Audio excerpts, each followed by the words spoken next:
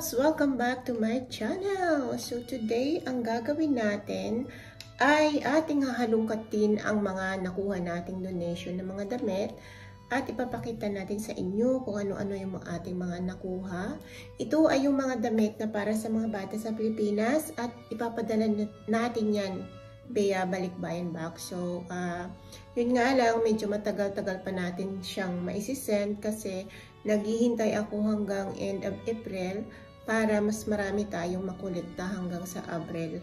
Tapos, sakto yan, pag nakauwi ako ng Pinas, andun ako, and uh, sakto ako ang mamimigay sa kanila para makita ko mismo sa mga mata ko kung anong saya ang kanilang uh, uh, mukha kung sila ay makatanggap ng damit na galing dito. Hindi man sila mga branded, hindi mga as in mamahaling damit, at least mayroon tayong mababahagian na mga bata na halos walang mga damit at iilan-ilan lang na papalit-palit. Kaya uh, masaya ako sa sa sinimulan ko at uh, excited na akong ipamigay ito sa kanila at sana mas marami pang magbigay sa akin ng donation ng mga hindi ginagamit na mga uh, damit, pwede rin pang mga pang matanda at mga laruan, mga ganun sapatos. So, uh, i-accept natin yan, okay? Hindi tayo mahihiya magkolekta dito sa mga Pinay sa Netherlands para lang makapamigay tayo sa mga bata sa Pilipinas. And bago tayo magsimula, ilalagay ko muna itong ano, ating bulaklak. Ito yung natanggap ko kay Habi noong uh, Valentine's Day. So, I got this uh, flowers. Para lang ako magdidibo, di ba? So, ilalagay ko siya dito. Meron na tayong uh, tubig na nakahanda dyan. So, ilalagay natin siya. Ayan, oh, sayang. Parang ayaw ko siyang uh, tanggalin, pero kailangan natin tanggalin kasi para mag-stay long siya at maka, maka ano siya, makahinga. Kasi meron, meron itong ano, meron siyang ilalagay na ito oh, ilalagay natin siya sa sa tubig para mag-stay yung bulaklak ng matagal. Hindi siya agad malalanta. Kaya gusto ko siyang ilagay dito sa ating uh, flower base. So, ayan. Noong, noong Valentine's Day, wala namang gaanong espesyal. Hindi ako nag-prepare ng ini, ano, pagkain. And, uh, sa bahay lang kami. Simple lang. Walang gaanong, you know, hindi ako gaanong nag-import ba para sa asawa ko. At siya rin naman, hindi. At least, pero at least meron tayong bulaklak. At hindi na rin, hindi rin naman importante sa amin yung mag, magso-surprise-surprise ka ng kung ano-ano. Ang importante ay masaya. Masaya kayong magkasama, uh, nagsusuportahan kayo sa isa't isa, at wala, wala kayong uh, wala kayong ano, pag-aaway, yung, yung lagi kayong nagkakaintindihan. At syempre, ang pinaka-importante yung time sa isa't isa. Kahit gaano tayo kabisi sa ating buhay, importante sa mag-asawa, magkarelasyon, ang time. Yun ang pinaka-importante, yung communicate sa isa't isa, yun ang pinaka-importante sa atin sa isang relasyon, okay? So, may natutunan na naman kayo sa akin. So, ilagay na natin itong ating bulaklak. Gaganunin ko lang siya. Ayan na guys. Oh, see? Ayan na siya. Ilalagay natin yan doon sa ano, sa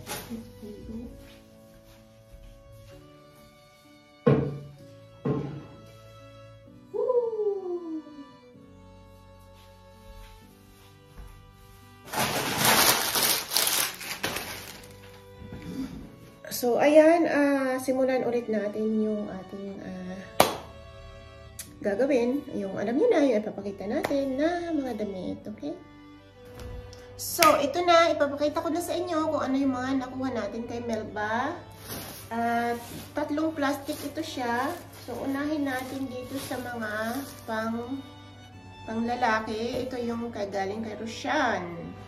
Ito yung mga nag-iedad na 9 or 10 years old. Ayan, mga pwede to sa kanila.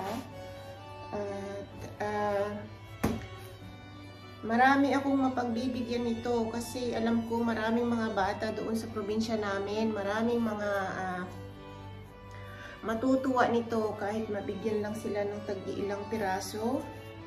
And, uh, sana mas marami pang magbigay ng mga, alam nyo na, yung mga donation, yung mga damit na hindi pa, hindi na ginagamit, kaysa naman itapon lang at hindi nyo na isi-send sa Pilipinas, uh, pwede nyong ibigay sa akin. Yung lalong-lalo na yung mga nandito sa Netherlands na mga Pinay, kahit hindi Pinay, uh, anytime pwede silang magbigay. Hindi ko talaga yan tatanggihan. Kasi uh, alam kong malaking tuwa pa ito sa mga taga-probinsya na halos walang damit na pinagpapalit-palit. So, ayan, mga panglalaki. Then, may short tayo. Ayan. And, sa mga makakapanood nito, kung hindi pa kayo nakapalo sa aking Facebook page, uh, doon mas active ako doon, nagla-live ako doon. And, uh, kada buwan nagbibigay tayo ng isang sakong bigas uh, sa lahat ng uh, yung mga nagsusuporta sa akin doon sa ating uh, Facebook page. Uh, ito yung pangalawang pangalawang uh, buwan ko na this end of the month na magbibigay tayo ng isang sakong bigas. At sana ay may mapapasaya tayo kahit papano. Hindi man lahat, at least nakakapagbahagi tayo ng konti. So, ayan, oh, meron siyang hoodie.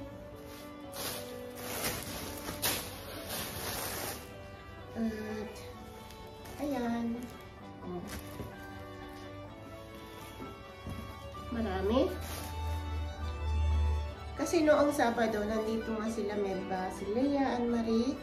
Kaya sabi niya sa akin, dadalhin niya daw yung mga kailangan na dadalhin na hindi na sinusuot.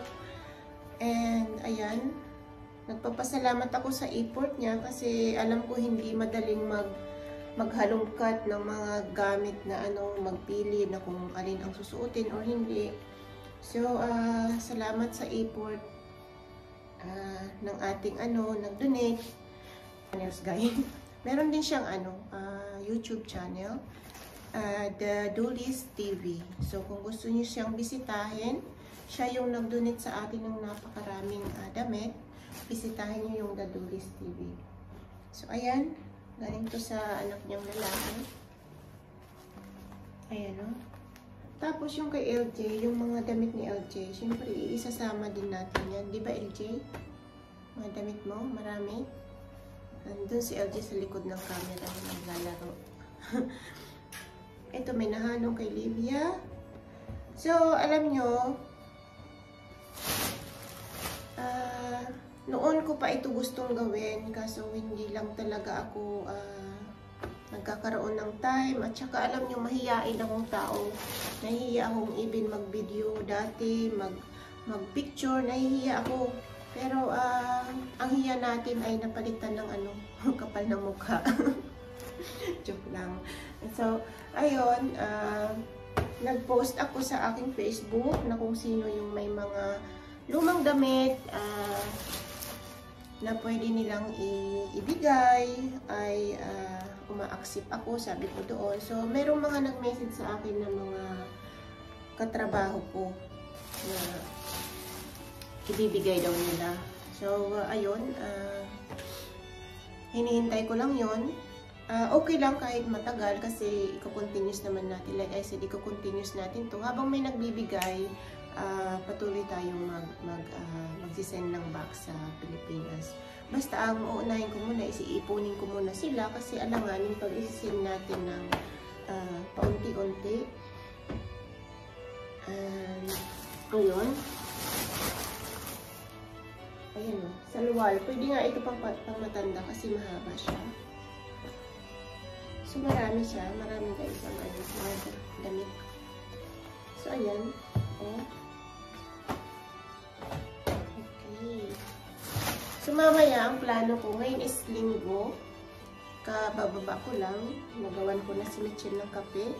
So, mamaya ay pupunta tayo sa sa Utrecht, sa city. Dahil kakain kami doon ng aking kasamahan sa trabaho. Nagpabook sila ng uh, ng restaurant doon.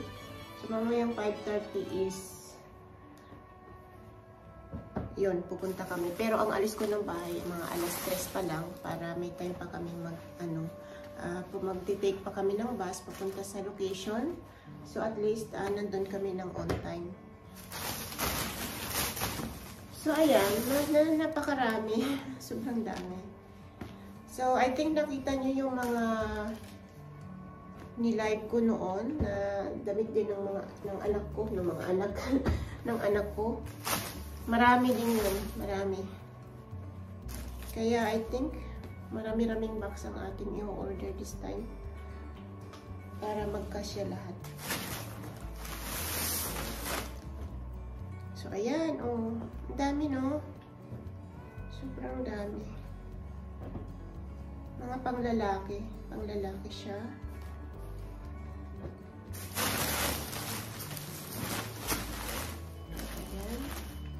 Mga pang baby, kay ano, kay, kay Livia, ito yung mga pag one year old. And, uh,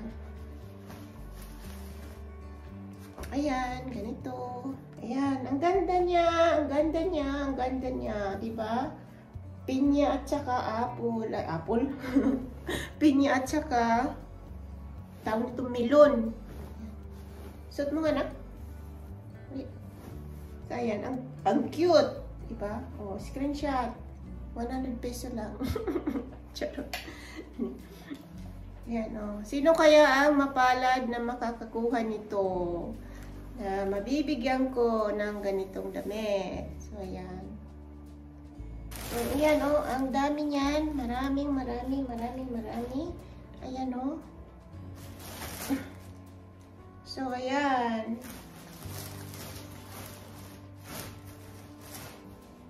Kung may anak lang akong baby na maliit na babae, o di, nakasalo tayo galing kay Livia. Pero wala, malas, wala tayong baby na maliit. Si LG lang ang pasaway. Ang pasaway na bata. so, ayan. So, hindi ko na siya may papakita lahat kasi sobrang dami, oh. Wala, kasya to sa akin. Sobrang dami guys. So, uh, ayun. Uh, sobrang nating patagalin itong ating video kasi gagawin tayo. Ayan, meron pang isa dito. So, mga sapatos. Ayan, mga sapatos. Ayan, yung mga cute na sapatos ni Livia. Ayan, oh, may sandals. Ayan. And then, may mayroon siyang mga sinamang mga uh, baby ano, chupon, mga chupon, mga uh, kainan ng baby. So, uh, atin niyang iya ano, uh, ipamimigay din lahat. So, yung mga makakapanood dito sa ating YouTube, pwede, pwede nyong bisitahin yung aking uh, Facebook page na Rose Daily Life, parehas ng pangalan ng aking YouTube. So doon, lagi kayong ma-update sa kung ano yung mga ginagawa natin at kung ano yung mga uh, pinaggagawa natin sa buhay araw-araw. Doon kasi mas active tayo. Lagi kayong nag-live and uh, doon mas lalo niyo akong makikilala sa aking uh, ano sa Facebook page na yon Kasi, habang nagluluto, naka-live tayo, but hindi siya as in talaga lagi-lagi kasi may trabaho din ako. At pag uwi ko ng bahay, medyo wala ng time. Kaya pag mga ganito weekend, free tayo mostly ng Sunday. Doon nakakapag-live tayo o nakakapaggawa tayo ng ating uh, video sa YouTube. So, ayun, sinasamantala ko yan sa isang araw, makagawa ako ng ilang video para meron ako may upload at least hindi natin napapabayaan yung ating channel. So, ayan. Okay. Ibalik natin sa plastic. Marami, marami siya. Hindi ko lang talaga na ipakita lahat kasi uh, abutin tayo ng dalawang oras. Kaya ano na lang, shortcut na lang natin. Basta yung tatlong, tatlong bag yan, tatlong bags na dinala niya. I think nakita nyo rin yung aray ko, pati nililibak Nakita nyo rin yung bagong upload ni Mel na uh, video kung paano niya ito hinalungkat doon sa kanyang uh, budiga sa istakan ng mga lumang damit at saka kung yun, nakita, I think kung nakita niyo yung uh, upload niyang video, nandoon din ito, makikita niyo rin kung paano niya inayos yung mga uh, ipamimigay niya. So, uh, good morning, baby. Are you surprised? And she's here, Bineda. Huh? Bineda? Yeah. I'm, I'm also surprised. I thought he was uh, upstairs. Dat is goed, jongen. Het is goed, jongen. So, ayan. Mga nakuha kay Melba. Okay, dito nagtatapos yung ating maiksing vlog today. At maraming salamat kay Melba Dadulis TV sa mga gustong mag-visit sa kanya. Bisitahin niyo yung kanyang channel. At maraming salamat sa inyo. God bless you all. Bye-bye.